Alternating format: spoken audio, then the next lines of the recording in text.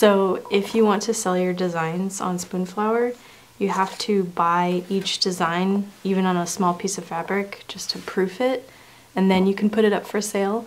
So they have this thing where you can fill a yard with swatches of your designs. So that's what I did. I'm just seeing it now. Today it just arrived. I've only seen these on my iPad and my screen, so it's just really fun to see them printed. And now they're for sale on my Spoonflower shop.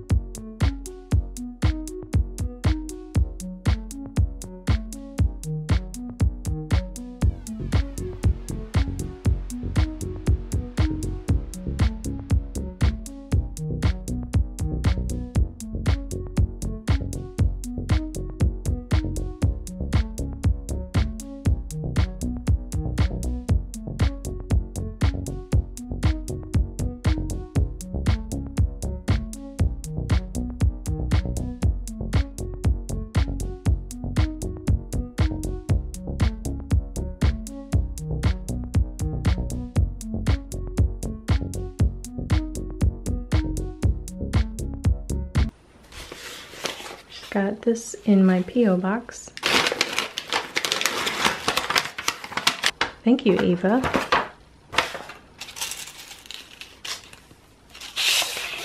What a nice book.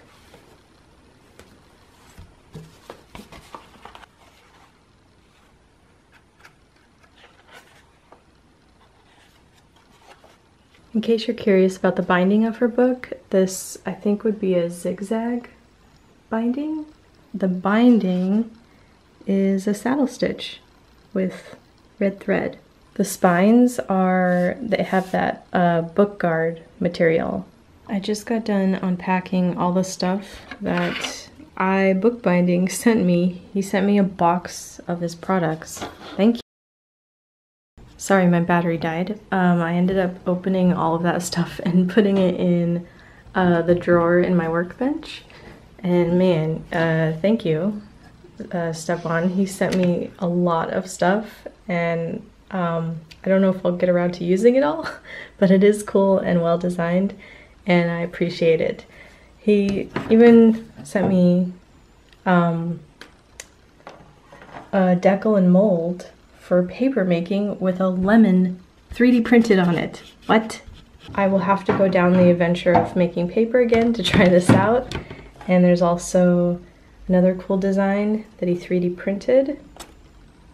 Circle piece for a circle piece of paper. These things are for cartonnage. They're magnetic and they hold your the sides of the board straight while they dry. You put your boards with glue in there and then hold that in, hold them in with this to dry.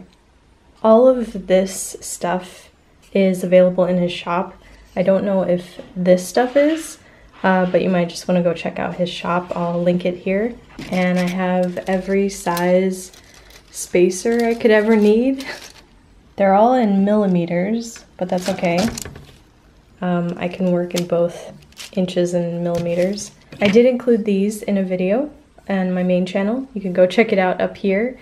Um, it's all about different ways you can punch holes in your signatures. So I did try these out in that video. I, I'm all stocked up.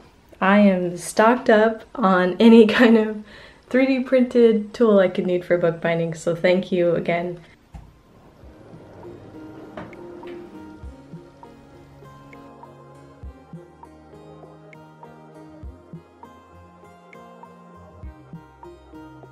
I'm going to include this in this vlog because I want you guys to hold me accountable and myself to remind myself. This is a reminder to myself to please uh, proofread your videos, Jennifer, before you upload them. Um, so we don't have any boo binder knots. There's no such thing as a boo binder knot, just so you know. It's a bookbinder's knot. Cool.